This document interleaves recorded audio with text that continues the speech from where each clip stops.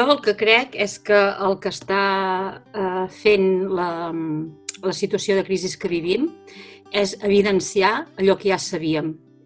Allò que sabíem, però evidenciar-ho de manera cruel, eh, jo crec. Eh, eh, tot el tema de, eh, de, de la crisi de les cures de llarga durada, tot això que explicàvem, no? de, de, que el, el model que tenim el de les residències eh, ha estat eh, brutal, no? Però no només el de les residències que planteja doncs, quin model tenim doncs, de cures de llarg, eh, de llarg termini, eh, sinó la, el propi servei d'ajuda a domicili. El servei d'ajuda a domicili amb unes dones invisibilitzades, amb unes dones que realment eh, no saps en quina situació es troben o saps que estan en una situació de molta eh, irregularitat, de molta falta de seguretat. No? Eh, jo crec que està evidenciant aquesta, aquest model que ja sabíem que no funcionava. Ara bé, també és veritat que eh, també s'han evidenciat coses eh, positives, jo diria, que és el tema de la proximitat, el tema de, de, del treball eh, dintre el, la comarca, no? la resiliència comarcal, el fet de que, com en una situació d'aquestes, eh, la comarca és, és valenta quan tens unes estructures eh, fortes, no? eh, i per tant eh, també el, el, el, el evidenciar que la proximitat continua sent un, un valor important. I potser Eh, com a tercer punt, eh, diria també en positiu el posicionament dels treballadors eh, del sistema de serveis socials, en el cas de, de, de nivell local, com s'han posicionat de ràpid, com s'han posicionat eh, acceptant els canvis que ha suposat el, el, la crisi. Jo crec que, que hi han diferents coses a valorar. No sé què et sembla, Xavi. Sí, jo coincideixo bastant no? amb, amb forces de les coses que tu, que tu, has, que tu has apuntat. No? Des de, tu, potser tu posaves més l'èmfasi en la perspectiva local i si, si ens fixéssim potser més en el, en el conjunt del sistema de serveis socials de Catalunya, jo la primera cosa que destacaria és aquesta idea de que d'entrada podríem dir el que, el que ha destapat són vells debats, vells debats que, que també és bastant sorprenent que en aquest moment i en aquesta crisi ens hagin agafat encara sense unes respostes allò excessivament clares, no? I malgrat que són probablement preguntes o debats complexos que no tenen respostes molt senzilles, doncs eh, caldria, caldria, jo crec, sortir d'aquesta crisi amb respostes una mica més clares, no? No pot ser que encara ara avui en dia li costi al sistema de serveis socials eh, definir no? què és allò que porta a la societat o, o delimitar el seu perímetre eh, sobretot en relació amb els altres sistemes de benestar. Aquests dies estem veient, eh, sobretot en l'àmbit sanitari, no? però també amb altres sistemes, també amb el sistema educatiu, amb altres qüestions vinculades amb garanties de rendes, i tots aquests són debats que sorprèn no? que permanentment no els hàgim estat tinguent i que, en canvi, eh, encara ara no, no, no hi sapiguem donar una resposta. No? I això, en certa mesura, també crec que en aquest context de la, de la crisi sanitària, però també social, eh, és, un, és un punt feble del sistema i que caldria doncs, intentar eh, sortir-ne ara sí amb algunes respostes més clares, perquè si no, eh, diguem, els interrogants que, que, que es plantegen a la sortida d'aquesta crisi són, són, són poc encoratjadors. No? Per tant, jo sobretot diria eh, que potser tota aquesta crisi diguem, ha fet pujar els colors no? amb, amb alguns deures pendents que encara ara hi havien i, i que, que hauríem de poder-hi trobar una resposta el més, el més uh, àgil i ràpidament possible. Clar, uh, a banda d'això, després jo no sé, també tu, en aquest sentit, alguna cosa ja l'apuntaves, però o sigui, quin, quin, quins impactes creus que pot tenir en, en, en el conjunt del sistema tot, tota aquesta crisi? Bé, jo crec que, que dependrà, no? Eh, depèn de si som capaços de fer una, una anàlisi crític, ètic, eh, professional, que ens comporti doncs, eh, realment fer una revisió important sobre, jo torno a insistir que, que tot va molt lligat, però especialment amb el tema de, de, de les cures. No?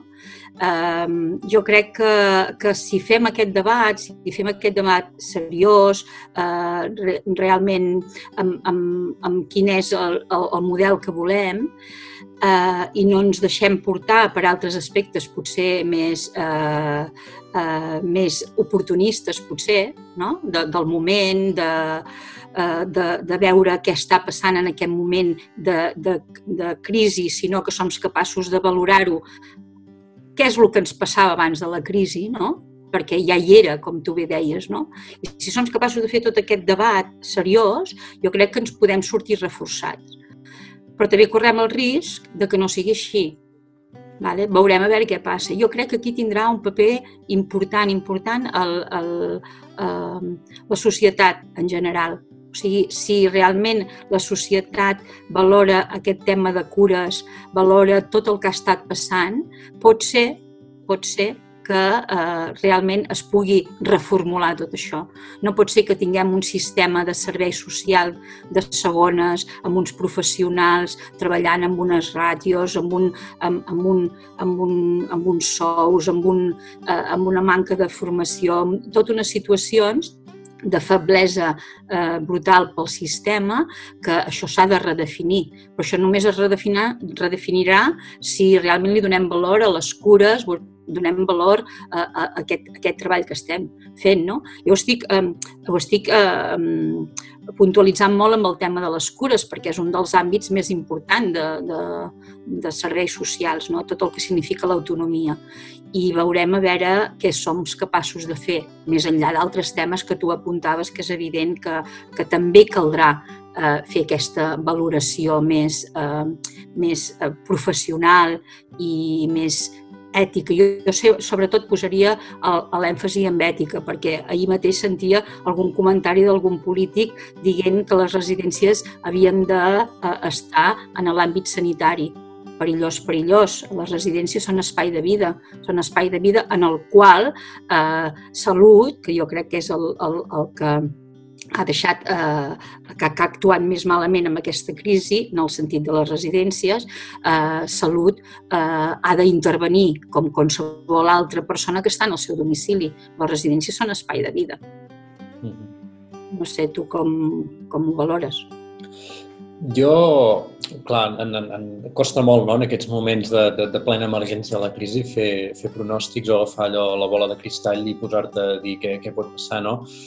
Clar, en el fons, com tota situació, veus oportunitats i veus amenaces. En, en, en les amenaces, clarament, penso que el, la qüestió aquesta de la relació salut, serveis socials, és una relació que, que, que, que és una amenaça en el sentit que, lògicament, ara hi ha hagut una mesura, que és una mesura com molt dràstica, que jo crec que simbòlicament per als serveis socials és dura, no? que és que aquest traspàs de la competència de les residències en l'àmbit de la salut.